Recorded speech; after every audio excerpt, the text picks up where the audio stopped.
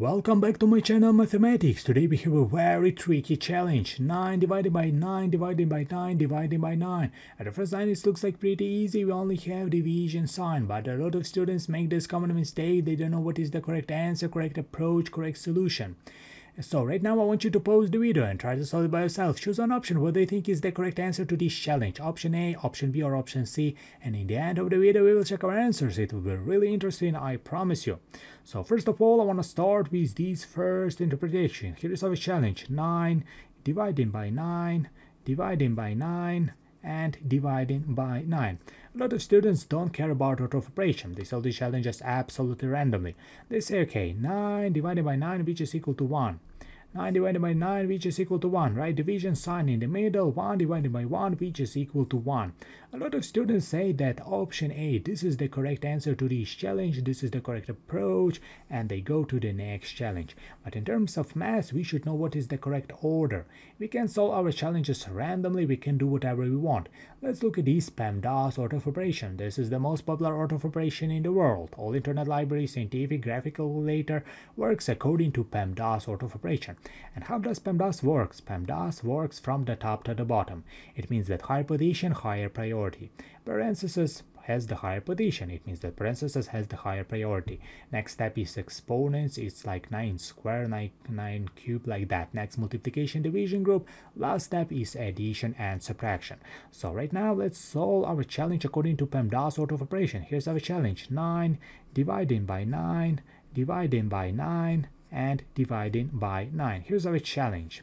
As you can see, we only have division sign. We don't have any other sciences. So it means that we just skip uh, parentheses, we skip exponents, we skip multiplication group, we have division, we don't have any addition sign, we don't have any subtraction sign, we only have division sign. So it means that first we should divide 9 divided by 9 in a strict order from left to right. What is the first sign? The first sign is division, right? 9 divided by 9 which is equal to 1, right?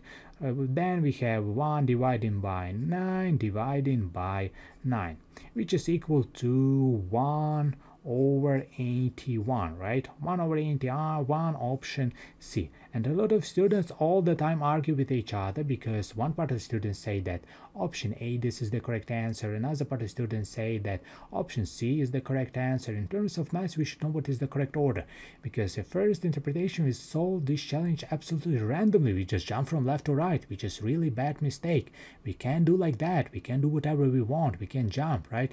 We should know what is the correct order. As you can see with brackets this is the correct answer as well, because first we evaluate the expression inside parentheses, inside parentheses 9 divided by 9 which is equal to 1, 9 divided by 9 which is equal to 1. So with brackets this is a correct answer as well, but in our case we don't have any brackets, we don't have parentheses, so this is absolutely wrong answer, wrong solution. And let's look at our second interpretation. We solve the challenge according to PEMDAS sort of operation. So first we divide 9 divided by 9 which is equal to 1.